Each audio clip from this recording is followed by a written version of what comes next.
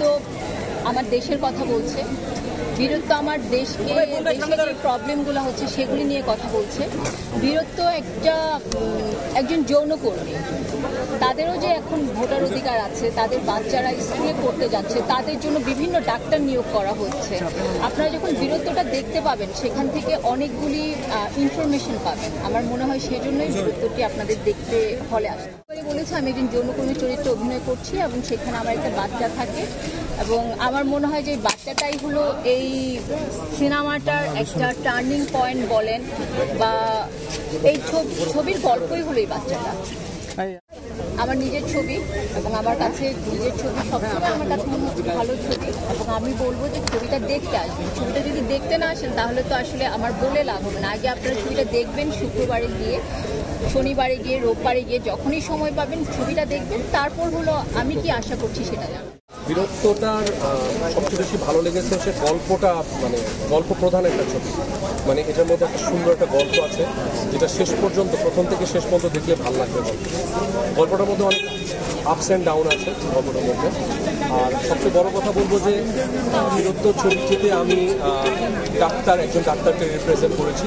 ডাক্তারদেরকে represent করছি, বাংলাদেশের যত যত ডাক্তার আছেন আর ডাক্তাররা আমাদের সবচেয়ে বড় বীর হিসাবে আমি মনে করি।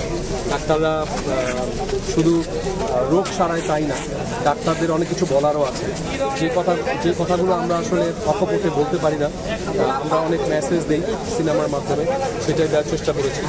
আমাদের সমাজে আমাদের মফস্বল শহরগুলোতে বিশেষ করে যেগুলো একদম মফস্বল কেন্দ্রিক, যেখানে অনেক ধরনের অনৈতিক কাজ হয়, যেমন আমরা যদি দৌলতদিয়ার প্রথেলের কথা বলি সেখানে অনেক কিছু ঘটে।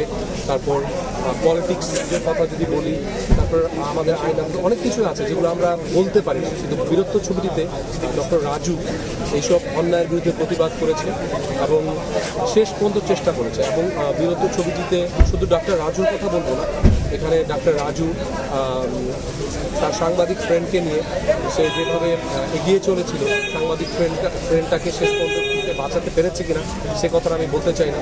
মানে একজন সাংবাদিক এবং একজন ডাক্তার দুজন মিলে সমাজের এই যে অনৈতিক কাজগুলোর বিরুদ্ধে তারা যেভাবে রুখে দাঁড়িয়েছে সেটা এই বিরুদ্ধ ছবিটির আমার মনে হয় যে অনেকগুলো মেসেজ আছে। মানে ছবিটিতে যে কোনো ছবিতে মেসেজ থাকাটা খুব ইম্পর্টেন্ট আমার মনে হয়।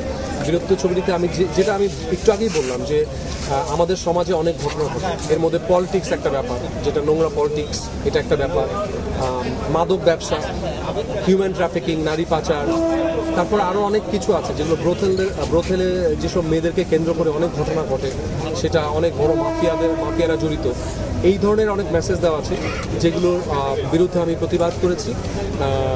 এই সমস্ত ঘটনা এর মধ্যে প্রেম ভালোবাসা সব কিছুই আছে। এবং আরেকটা কথা বলব যে প্রেমটা যে শুধু একজন একটা নায়িকার সাথে হয় তা না অনেক কিছুর সাথেই প্রেম হতে পারে। সেরকম একটা ইউনিক প্রেম এখানে বলা হয়েছে। সেই মেসেজগুলোই আসলে বিরুদ্ধে ছবিতে দেওয়া হয়েছে